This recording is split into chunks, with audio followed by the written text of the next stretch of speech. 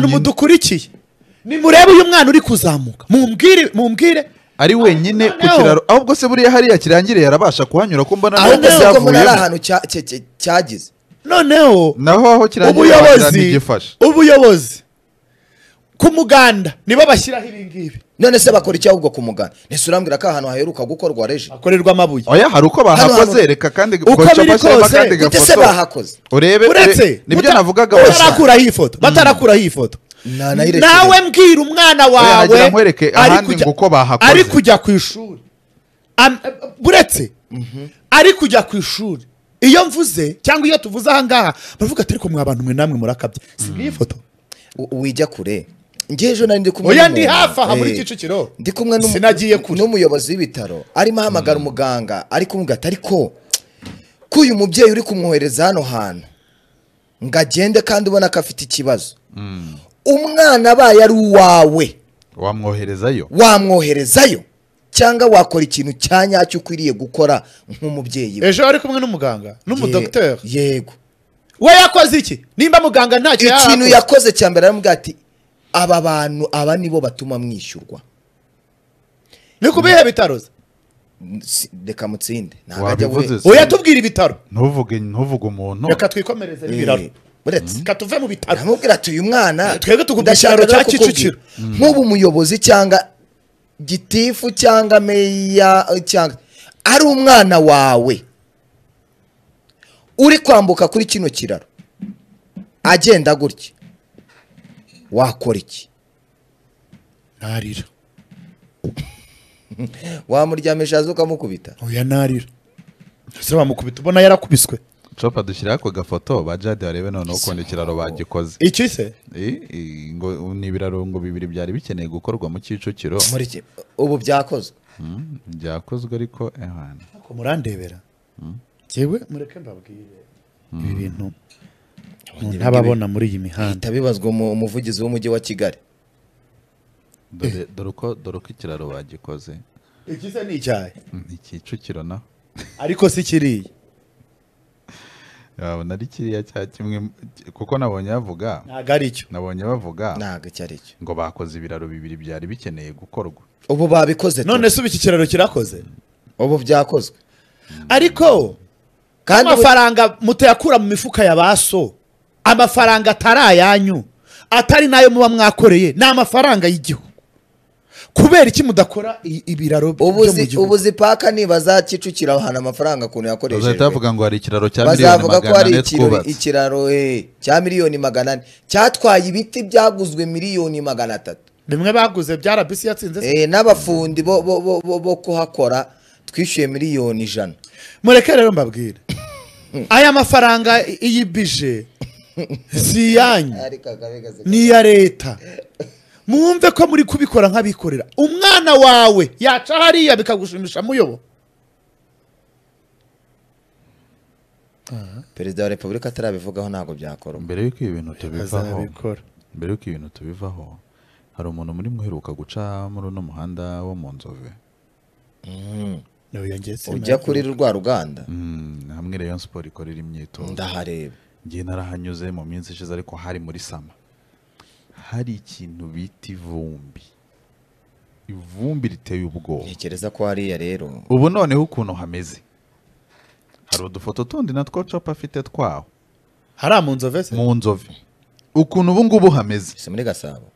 Oya hariya ni muri nyarugenge. ni Nyarugenge. nyarugenge. Ni nyarugenge waharenga ukagera muri rurindo iyo harenze ugera rurindo kandi ngo hajya bisi Wa- eh, niyo foto irimo akabisi Eh, urwego bigezeho. Eh, imvura iragwa. Abantu bahanyura abagenzi bakava mu modoka bakajya kuyisunika. Reba inyuma yawe ari- aha ntabwo ari i kigali. Oya ni ho? Akareka mu nzove ni se none se mu nzove ni? Si muri kigali? None se kiriya kiraro kibonye? Ese si muri kigali muri kicukiro? Barasa ni kigali. Aha ni mu nzove muri nyarugenge. Hano ukase ku giti cy'inyarugenge ntibyoroshye. Biraremereye.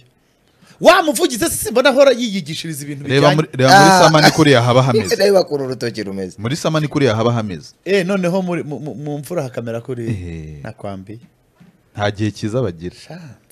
Bo nyine ibihe byabo bihora bihinduka. Reba hariya hantu ubu wazamesa imyenda ukayanika wazakoza ibyombo ukabyanika hanze ku kazuba ngo byumuke. Twarangiza ngo isuku.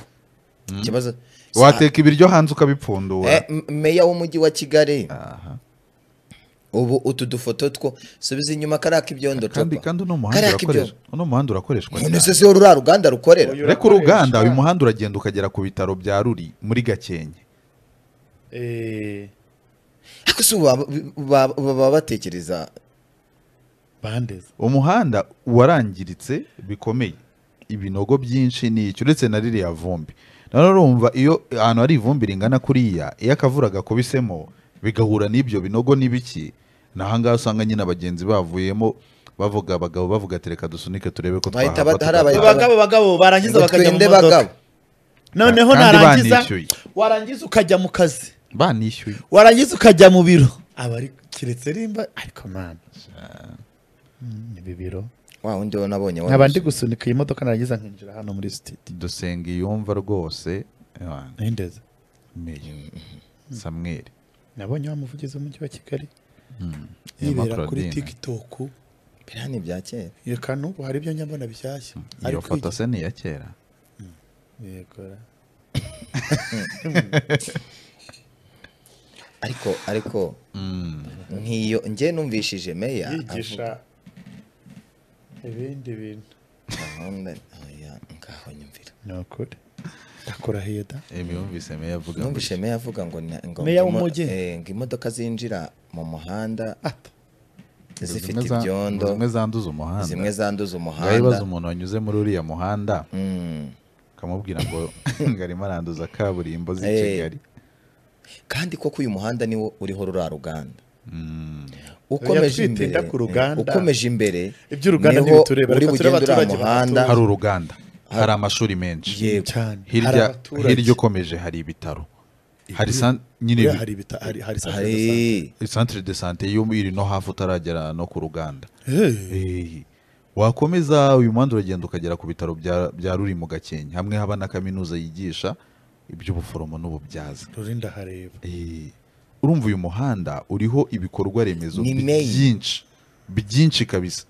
Ngaho ibaze nk'umurwayi bazajyana kuri biriya bitaro ino ariyo yakabaye inzira ya bugufi. Ibaze bayimunyujijemo umuhanda umeze ariko ndibaza wapfa utaragera no ku kugira ngo ruganda uno muhanda ukorwe Mm. byagerwamo uruhare n'utu turere twombi kuko ukoraho. Tuheze buri karere kakoze ahako kakarekeraho. Mhm. haba ari akarere ka ahubwo se rurindo baretse guhimana bagakomereza. Bitwaye iki? Haba ari akarere ka rurindo uhinga mu ko adasigara niba barananiwe kumvikana buri wese nakora he n'ubundi hari aho bigabanira bazahahurira Eh, bavuga ati reka dukore hano. Ab'umujyi wa kigali bakore hano muri muri Ru- muri nyarugenge. Noneho rurindo nabo bazakore aho erega uno muhanda wigeze no gutangira gukorwa? Nko mu myaka ibiri cyangwa itatu ishize. Nyine warakozwe bashyiramo za mashini. bawurekeraho. Bawurekeraho. Bo baba bumva iyo nibagiwe. bashyizemo hano bya hari bitaka hari bya hari leta hari n'isoko isoko ry'i- ry'imbuto. Ry'ibiribwa. Ry'ibiribwa.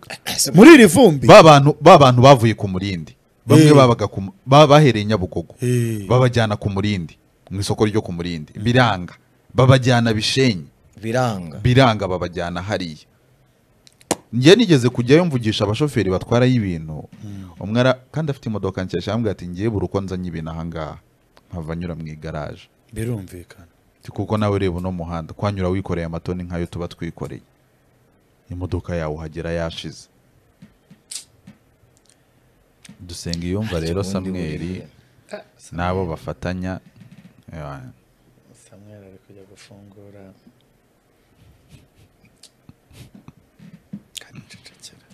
Kubera iki suri ariko numvise ngo n'abantu bo mu isoko rya nyarugenge bagiye kubimura. Intange narabibonye wa? Kugira ngo rivugururwe. Ngo bacururiza ngo ahantu hatujuje ubuziranenge kandi ari bo baryubatse. naricaye ndavuga ntutiyo ntireka ndebere ibigiye kubera i nyarugenge. Ririya soko ntibaryubatse ari iry'ubucuruzi uzi imyaka rimaze? Mm, rirashyirwa isoko rishyashya ryo mu mujyi. Si ryo soko rishya.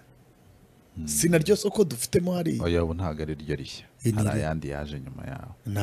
Rino ry'inkundamahoro ni irya nyuma ya hariya. Nibyo ndi kuvuga. Ese buriya ririya ari ry'inkundamahoro ririya na ni- ririya ryo mu mujyi ni ririya ryujuje ibi- ibisabwa? Ikibazo banza umenye nyine ngo ibyo bisabwa ni ibi. Ni ibiki ni ukuvuga ngo ahubwo naribajije Mm. kubera iki noneho bagiye kubimurira? He ni ho hagiye kujya bimwe by'amasiporo se? Ko bavuze yuko dufite ikibazo cyo gukorera cy'ahantu hato ha siporo abiremera se sibo nabonye bahawe nuza.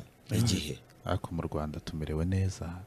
Oya nabo nabo nyarugenge babahaye ngo igihe ariko bari kurekarama noneho barajyahe ca mu rwanda tumerewe neza pe. Tumerewe neza gute? Mm, ahantu? Kabiri mu kwezi bafunga imihanda ngo abantu bakoraga siporo. Avesha tugatangira akazi saa tatu za mu gitondo. urumva? Nibategura ahantu ha siporo hihariye. turi mu bihugu bikennye. Turanakire none se. Mm. Bari bafunga isoko ngo ujye ntujye muri siporo. Iyo bafunze umuhanda ukabura aho unyura ugiye ku isoko se bigenda bite? Niyo bafunze umuhanda. Iyi siporo irimo. Umuhanda kuva saa moya kugera saa yine. Uba ufunze uretse wenda wowe wari ugiye kuguhaha tuvuga wari ugiye kujya mu kazi gukorera muri iryo soko. Cyangwa n'ugiye kwa muganga. Nuko bazi ko si biba ku cyumweru se? Nuko bazi ko abantu benshi badakora ku cyumweru ibifu se badacuruza. birafunga ku cyumweru cyangwa imihogo cyangwa abantu ntibarwara. bagakwiriye gushyira hari ikintu ahantu ho gukora ama- niba se ku cyumweru ari bwo wabonye amafaranga. None se. Eh, biratangaje. Niba ari bwo warwaye se ku cyumweru. Biratangaje kubona oya biratangaje kubona fata nk'amasitade ahantu ari. Biratangaje kubona bafunga imihanda bagakorera hagati mu mihanda sitade bakazifunga. Bajya binjira muri sitade bagakoreramo siporo. Ko dufite amasitade manini? Baba bari kwangiza ibikorwa remezo ibihe se ibikorwa Ibihetse baba remezo. Baramutse babafungurira amasitade nese bayubakiye. None se bayubakiye? Bayubakiye gukiniramo umupira w'amaguru. Ni- si mbona dutsindwa buri munsi. ahantu oya twatsinze. Twaraye dutsinze Uyu nawe biriya ahantu ahantu bakinira umupira w'amaguru Eh. abantu bakoreyeho jogging hariya ku ruhande. Byaba ibibazo kabone niyo bahubakiye. bajya none se hari uduce twahariwe siporo icyo utuhe? Jya muri muri gasabo. Si hahari? Hano unyuze kuri hano hari umuhanda w'icyatsi. Eh, yego. Erega hariya nta muhanda bafunga? Hariya nta muhanda bafunga. None se abo bantu ba- ni nyine nibave hariya bajye hariya ba- ba- ba- bageraniye Ibyo ndi kuvuga nyine? Ntibabajyane Sitade hariya. Cyangwa binjize muri bakore. Bareke gufunga urugero umuhanda ngo abantu bari urajya muri kubona stade. Ukabona eripe barayifunze kugera ku rya nyuma. Sitade birafunze kimisagara yose ubwo ibifunze. Kimisagara yose kuzamuka. None. Kuki badakura abantu mu mihanda? Ngo babashyire mu masiporo mu masitade cyangwa ku nkengero za sitade. Dukoreshe umuhanda dukoreshe umuhanda dukore tugende Agaka- ariko igihugu gifite abaturage bafite ubuzima ubuzima bakoze siporo ni sawa. Mu bibazo bikomeye nk'abanyarwanda dufite siporo ntirimo. Ntabwo irimo biratangaje kubona narumvise ngo uretse biratangaje ko mu minsi ishize reji wowe regisi burindira. Gakeya. gake. Ariko akayikora. nta mahoro. Biratangaje kubona narumvise umuyobozi w'umujyi wa kigali ari kuvuga ngo turacyafite ikibazo cy'aho gukorera siporo kandi wareba ugasanga hari ubucucike mu masoko nk'iriya ry'i Nyarugenge nubwo batangiye kubakuramo. Wareba ugasanga parikingi mu mujyi ni ikibazo. Ariko ngo ikibazo gikomeye ni aho none ikibazo gikomeye ni aho gukorera siporo. None iyo mugiye gukora ibikorwa remezo nk'ibi ngibi mu- mubaza mubanza gukora ubushakashatsi cyangwa se research ngo mwumve ibyo abanyarwanda dukeneye cyane. cyangwa murabyuka mukicara muri izo ntebe zanyu mugatekereza ibyo turi baricara- ni byo dukeneye. Franchement disons agasiporo ni keza ku buzima bw'umuntu. Nta nuwanze ko umuntu agakora. Tuzasubire muri segonderi hamwe siporo yari itegeko. Niba ufunze siporo ni umuhanda nziza na yo iri mu bintu bigomba gukorwa. Ariko se niyo iri ku mwanya wa mbere niyo ibabaje niyo ihangayikishije niyo dukeneye. ego rwanda. Ese iyo uvuze ngo hari ahantu hake ho gukorera siporo haba hakeneye kwagurwa. Kandi twebwe tukavuga tuti twabuze n'ubu ngubu mu mujyi hatangiye kuzura. Niko yemeye. Erega mumenye ingano y'igihugu cyacu ukuntu kingana hanyuma ni- n'icyo kujyamo siporo. Sibyo se? None se ni cyo gukoreramo siporo? None se ari buri munsi si muri weekend bayikora ku cyumweru. Ariko ku cyumweru. Ko wambura abantu nk'aho nta bantu bakora ku cyumweru gusa. kandi hajya ababishaka buretse. Uwo nguwo njya yabishaka ariko utabishaka uba wamubujije aho kunyura. Ni ukuri dufite iyo ufunze kuva amasitade kimihurura kugera mu mujyi dufite amasitade rwose Urumva? mudufashe bajye baba ariyo bakoreramo siporo cyangwa se mushake n'izo sare za siporo. Rwose. si ibyo si yo si cyo siporo kibazo ni keza ariko nta muntu ukora siporo ashonje. Ntabwo bibaho. Ubu wajya muri jimu ukajya guterura ibyuma ushonje. ubu ntureba buri soko ko bagiye kurisenya bagiye kurihindura cyangwa babirukanyemo. Ntihabuze ibindi bigiye kujyamo cyangwa se ntihabuze. Abakire bujuje inyubako bashaka ko abantu bacuruzi bajyamo. Ibyo byo birashoboka cyane. Aba bacuruzi bati turajyayo. Wabonye hera kuri iri soko ryo mu biryogo. Ntibarisenya bakimurira abantu mu nkundamahoro igihe ryasenyewe bakabwira ati nabonye bari kubaka noneho. Bari kubaka. Eh, hari isoko rizima bari baratangiye kubaka. sinzi niba ari isoko. Eh, ariko ubu ngubu barimo barubaka. Numvise umuvugizi w'umujyi wa kigali avuga ati iri soko rizatanga igisubizo. Urumva ku bantu bakoreraga muri ririya rya nyamirambo. Abandi abandi Eh, ruguru? abandi Eh, bakavuga bati muvi nyabugogo ntabwo ari aho gucururiza imyaka tubajyane ku murindi huzuye isoko rishyashya. Bakagerayo bikananirana ati ariko bishenye huzuye y'irindi. Bakagerayo bikangata ariko mu nzove hari amadepo. Nta ribi ahantu hose bazashyira amasoko tuzajyayo. Kuko turarikeneye. Ariko ahubwo njye nibaza nibaza ibisabwa ririya soko ritujuje ni ibihe bagiye banabitubwira? Ari banaryubatse. Bavuga ko riri ku rwego rwo hejuru. Nyuma y'imyaka ingahise bigenze bite? Oya. Ese buriya hari hano. ubaze ku munsi ririya soko ryakira abantu bangana gute? Cyane benshi cyane. Keretse hakozwe ibarura rusange. Ikindi cya kabiri dufite bamwe mu bayobozi bicara bakwicara mu biro bakumva akantu kamuza mu mutwe cyangwa kakora ku kanuza ngo twi agahita atekereza ikintu akavuga ati ariko iki kintu? reka tukiganireho aba- abayobozi bakwiriye kureba. Muri joke. Abayobozi bakwiriye kureba ibintu bifitiye inyungu abaturage. Ibintu byinjiriza abaturage ubundi ubu ngubu Ubushobozi. ubu ngubu ikintu cya mbere. Mu rwanda twakabaye turebaho ni ikintu kiri buze gutuma umuturage akora ku mufungo urenze uwo yari arimo cyane arakoraho. cyane Ariko ari ubu- ntabwo ariko bimeze. Mm-mm. mubikurikirane mubirebe. Nimba i nyarugenge bari kurira bati turajya he? Haraza gukurikiraho iki? Ega n'iby'ubuzima ntako batagize. Bagize batya ati urubyiruko rwo mu rwanda rurasinda cyane. Ati muri ko utubari tujye tudufunga saa saba na saa munani. Abahungu bajye baza ku kazi mu gitondo bareba Icyo na cyo ni ikintu Saa saba na- ntigeze rwose nemera habe na saa munani barafunze. Ibyo ntibirenze ati nta n'uwemerewe gufungura mbere ya saa kumi n'imwe za, za nimugoroba. Yegora. ati sawa. Ngo kugira ngo urubyiruko rudasinda cyane. Ariko. Uwo muntu imisoro yishyuraga urayongeraho kugira ngo inagabanuke kandi amasaha yakoraga yagabanutse. Iki cyo cyo gutaha ari amasaha. Ntabwo ari ugutaha. Gufunga. Ni ugufunga. Kiriya cyatumye abana benshi mu, mirimo bakoraga. Abakoraga muri utwo tubari nahe babirukana ubu abenshi ni abashomeri none se wakomeza kugira abakozi bangahe? bakoraga benshi. ebyiri zitandukanye kandi akazi gasigaye ari aka shift imwe. Kandi bayobozi dukwiye kureba cyangwa se mukwiye kureba ese uru rubyiruko banicare banakore n'ibarura banamenye ngo urubyiruko rwakoraga muri utu tubari n'aya mahoteli oya rindira. Bagiye kuba abajura dufite Eh, dufite polisi. Ifite utwuma dupima umuntu wasinze. Buri tubari nibavuge bati umuntu yemerewe? Iyo umuntu yarengeje urugero rwa kantite agomba gufata Mm, ku kijyanye n'ibinyobwa. Mm. aba yageze ku kigero cya kangahe? Ariko ubutazi ngure waza kumpima gute? Kandi Uretse umuntu agomba gufata n'ijyanye n'umufuka we. Uretse gato nyine wowe Rindira. utazi ngure uraza kumpima gute? Uretse. Kuko inzoga ziba ibiyobyabwenge iyo byarengeje igipimo. Hari n'unywa ikazi atarasi ugomba kugira gute? Nta ribi. Nta ribi. Ni ryari umuntu bigaragara yuko yasinze ku buryo atanabasha kujya mu kazi? nk'uko bapima umuntu nk'uko bapima umuntu ni ryari umuntu atemerewe gutwara iyo wowe waba ufite akabari ukaza ngo gupima umuntu ngo urebe ko yakonsomye cyane yinjije amafaranga menshi. ubundi muribwira yuko uku gufunga amasaha ari byo bitanga umuti. Tujya muri za hawuzi pari bayobozi. Nta na kimwe nta na Kandi kimwe. ntabwo reka iwanjye hawuzi pari ukuntu hashya ni ho ni ho bibera rero. Gerega iyo ejo bundi. mudusohoye ariya masaha ntimugire ngo turataha.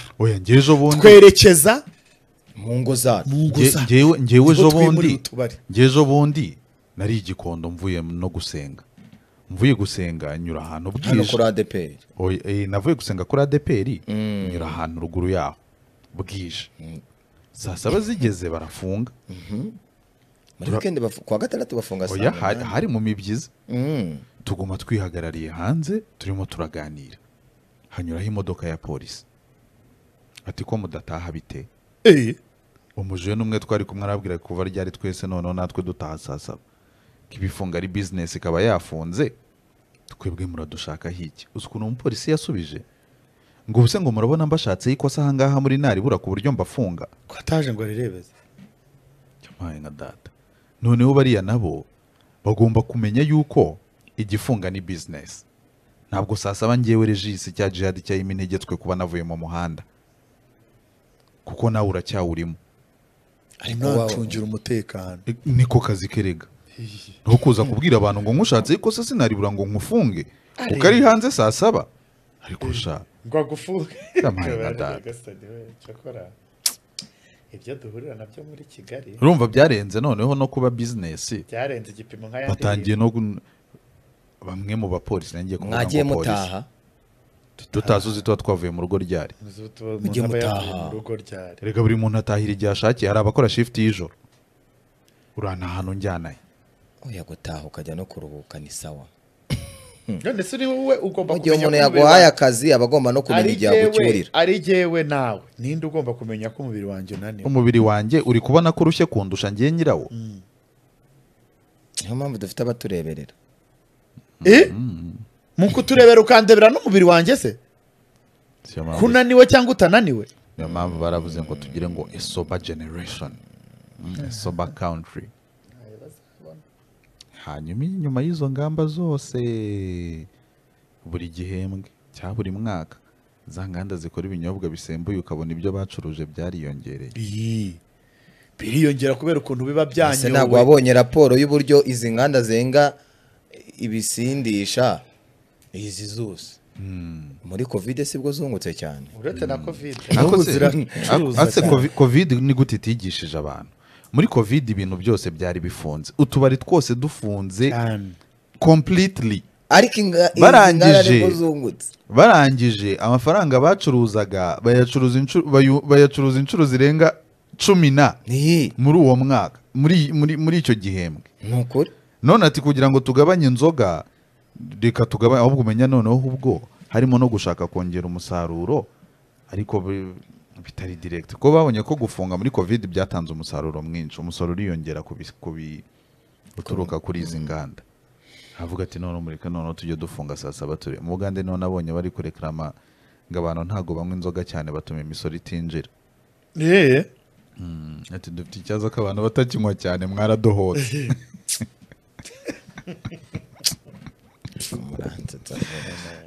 gwewe nyegere yari kusambya uganda ndumva bitoroshye. Makoratike urumva rero sha ibi bintu ibintu rwose nta ntabwo bikunda pe. Ahubwo ngewe hano hari inkuru ndi kubona Mm. musonera jerime muramubona? Mwari ugiye kuba umudepite? Eh, Mm. ubushinjacyaha bwasabye urukiko rw'ibanze rwa nyamabuye kongera igihe cyo gufunga by'agateganyo musenera musonera. Eh, yaburanye se? Kiriya gihe se burya na byo basaba ku- basaba Ejo yaraburanye. kucyongera? Ejo zari cumi n'eshanu. Eh. Eh, ejo ari ku itariki cumi eh, n'eshanu. haracyashaka ibimenyetso se? Inkuru urayifite aho ngaho? Ndayifite. Nsomera. Ubushinjacyaha bwasabye urukiko rw'ibanze rwa nyamabuye kongera igihano cyo gufunga by'agateganyo umusonera ukurikiranyweho kugira uruhare muri jenoside yakorewe abatutsi. Mwaka w'igihumbi kimwe eh, magana cyenda mirongo cyenda na kane.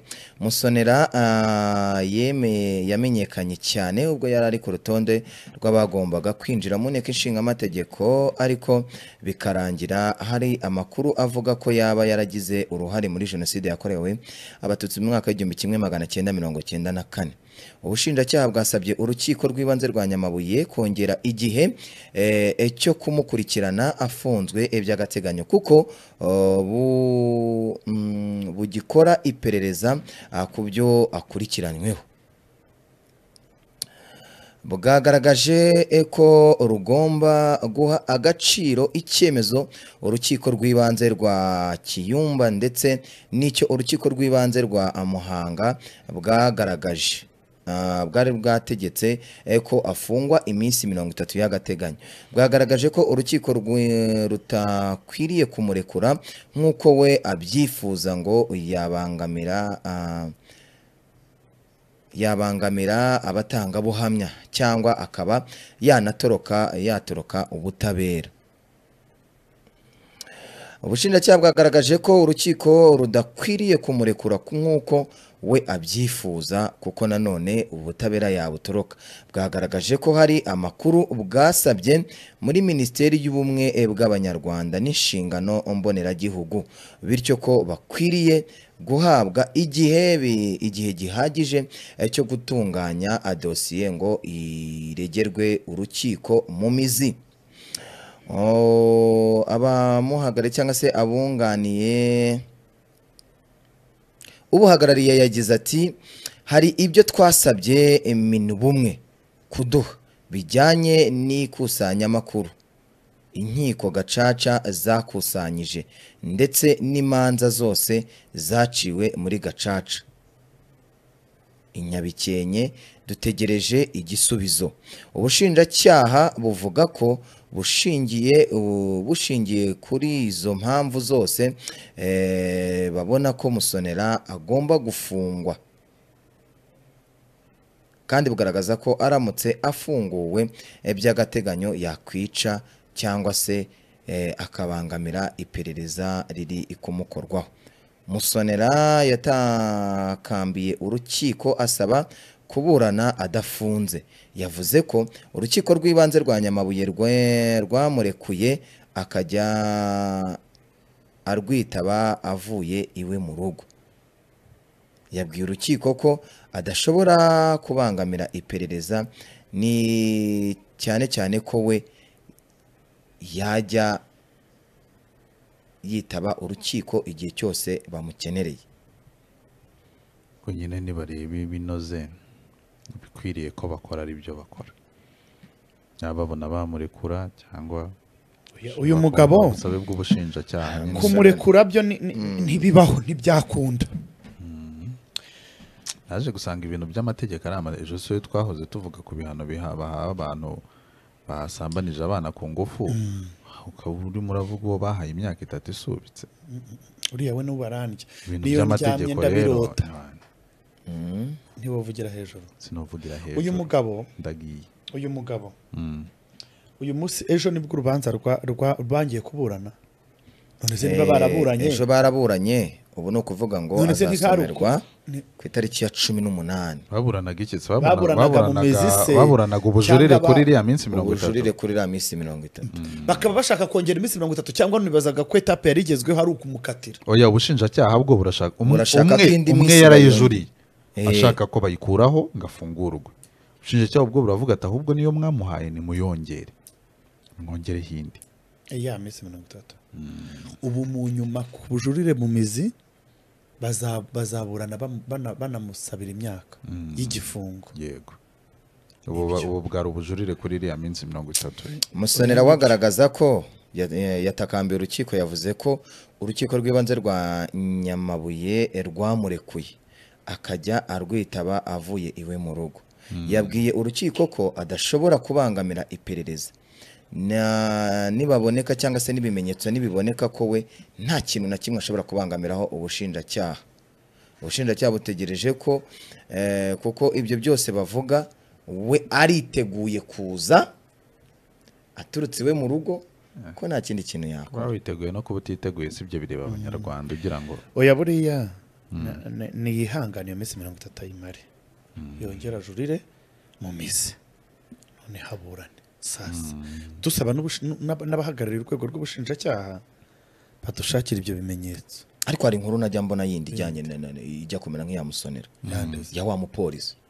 Woheza ni uw'inyanza umwe w'inyanza afunze se. Kugira ngo zafunze se. Yaraburanye se. Ashobora kuba ataraburana ariko arafunze.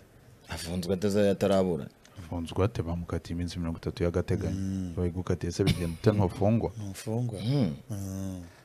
basanga n'itariki y'urubanza ishobora no kuza bibiri bibiri na makumyabiri na gatandatu. Haba harimo imanza nyinshi. Haba hari imanza harimo imanza nyinshi kandi ntabwo ariko nk'izi ngisi zifite aho zihuriye na jenoside zo bakagiye baziburana kazihutisha ariko nawe birahura ahubwo ngemba numva sinzi niba ari uko ntari umunyamategeko mba numva ari zo bagatindije. Kugira babanze bumve nyine babumvishe. Bashake n'ibimenyetso. Ariko rero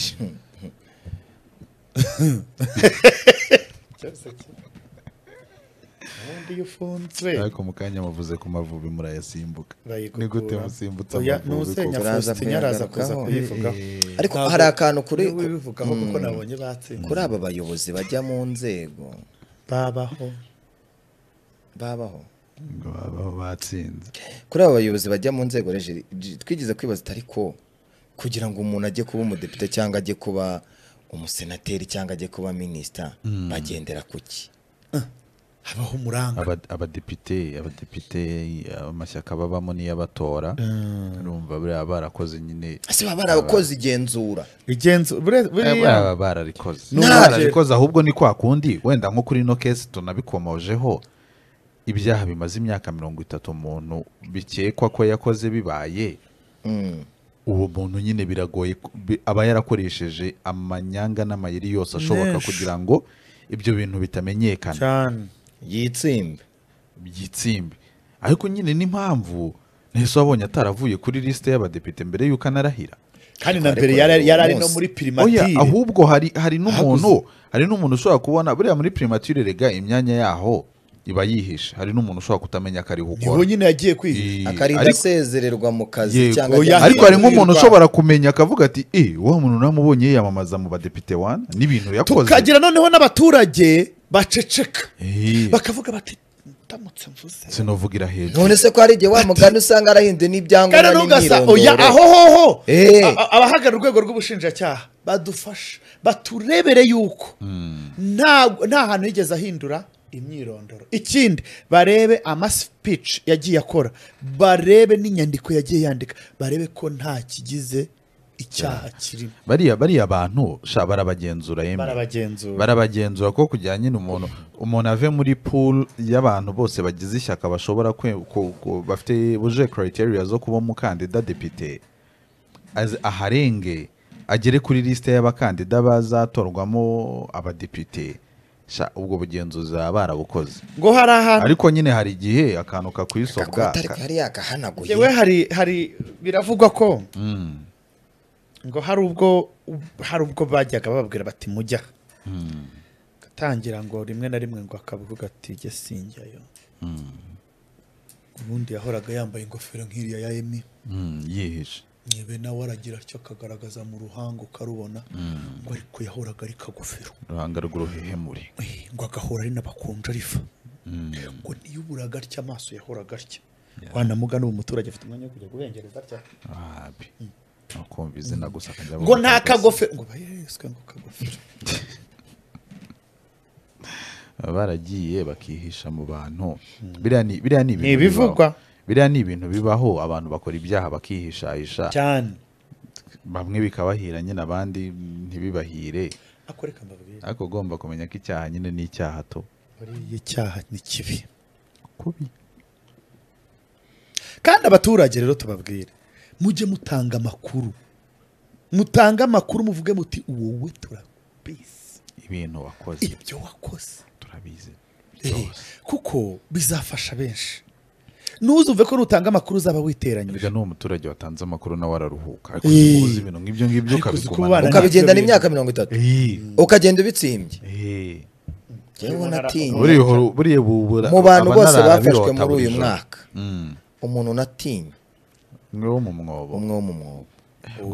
Umwe bafashe amaze umwe wo mu mwobo w'inyanza. Eh, umwe makumyabiri n'itatu mwobo. aba mu mwobo atava harya n'uw'inyanza. Ariko ubundi Kamonyi.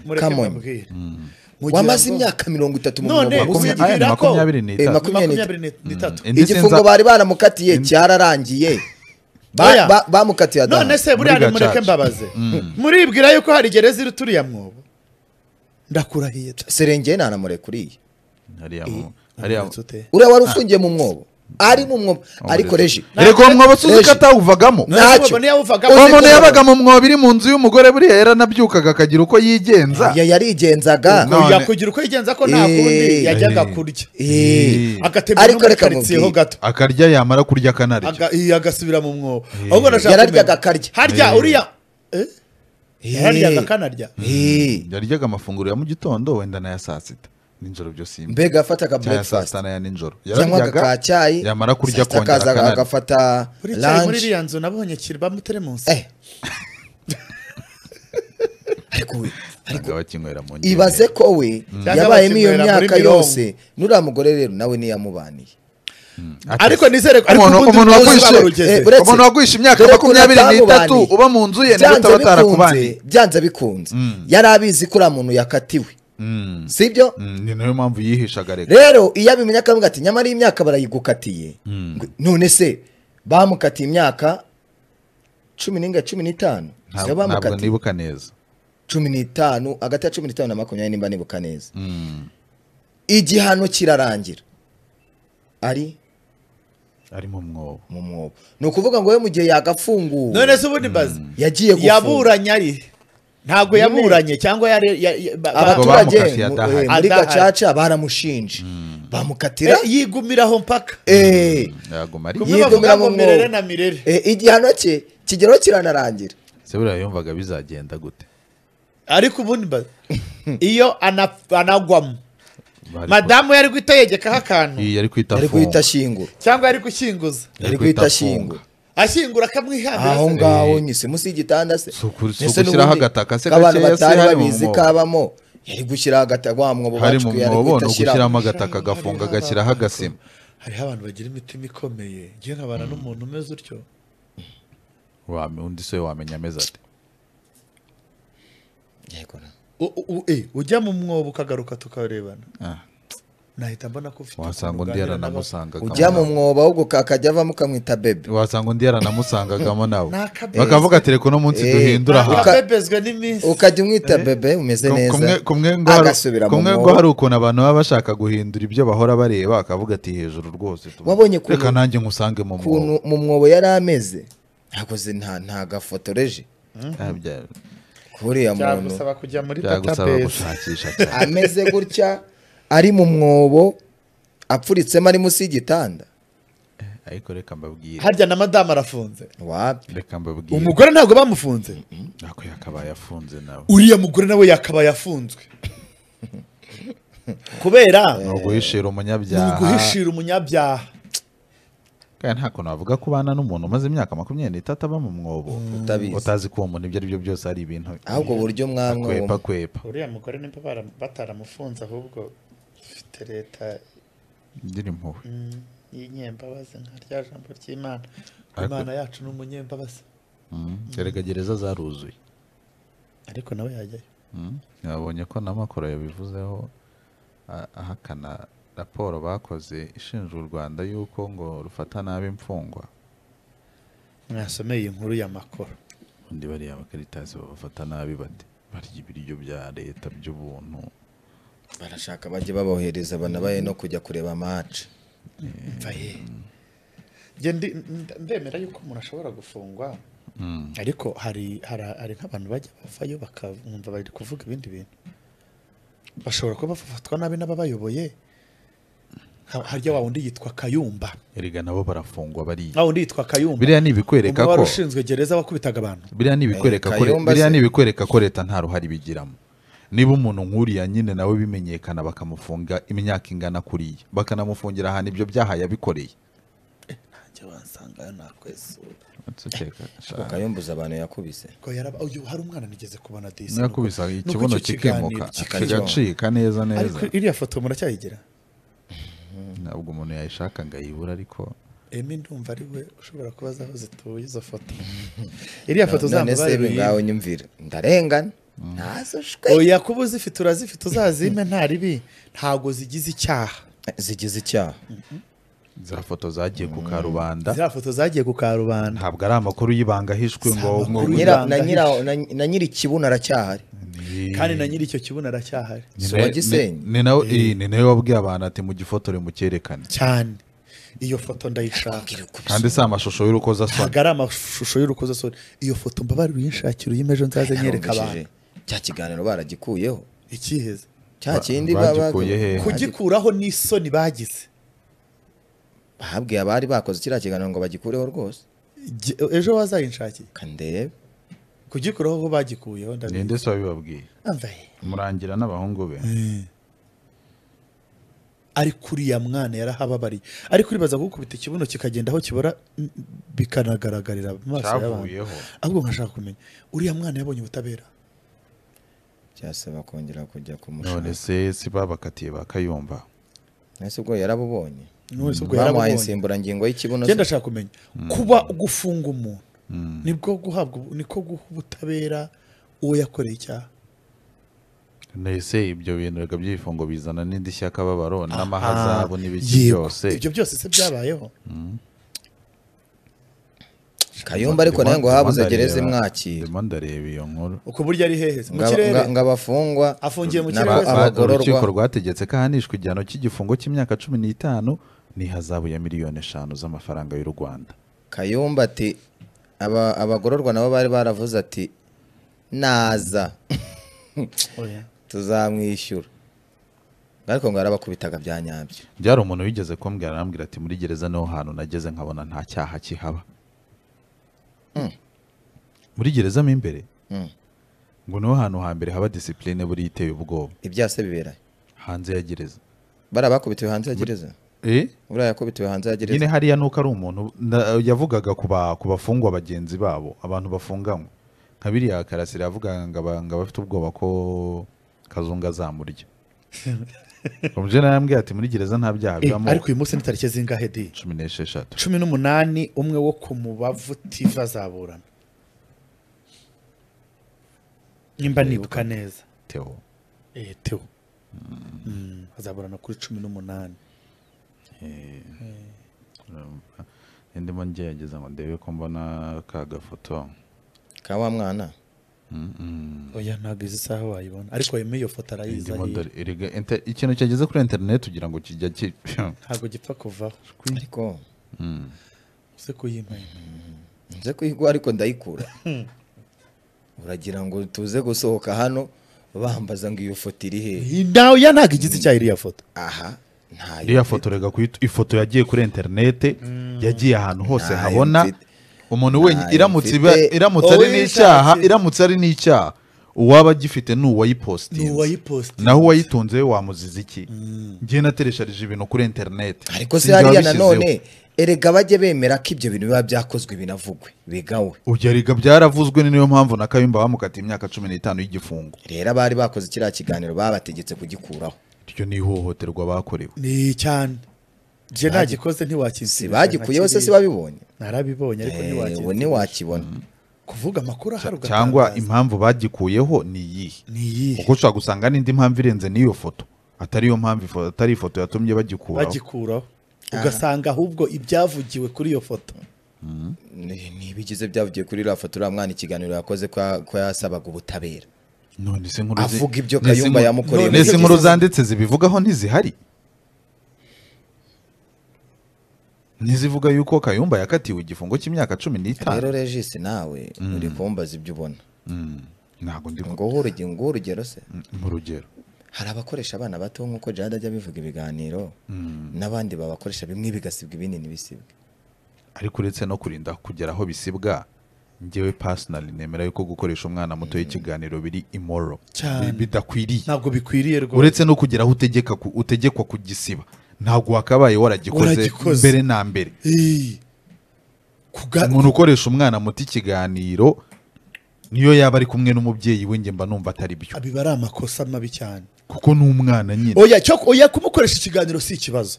Ahubwo ikiganiro wamukoresheje kijyanye n'iki? Ndetse nyine ari ikiganiro cy'abana. Kijyanye n'abana. Ariko umwana uramwicaza nk'ari ukamubaza ibintu by'abantu bakuru. Ni umwana. Ni ho bahera bashyanuka. Ariko umwana umubwiye rimwe kugera kuri kangahe inyoni ukunda ku akakuririmbira akagucira tw'abana. ibyo biganiro abana banabikunda bagenzi be ibiganiro by'abana binabaho n'amateleviziyo arabigira rwose nanjye ubwanjye umwana abana. namuhostinga ariko ndimubuganirize ariko nk'abana kuzana ibintu. Ariko kuzana ku mwana ngo nukura ngo urumva uzashaka ngo umugore umeze ute? Kuza hema akagukoresha ikiganiro agakoresha ikiganiro Eh. umwana. Nk'aho ari jihad ari Jewe- kugikoresha eh, jye sinjye nemera n'umuntu ujya mu kiganiro ngo ashyiremo n'umwana. Ni amahano ni amafuti kabone niyo yaba ari ifoto ye nayimasikinga ni amafuti kabisa.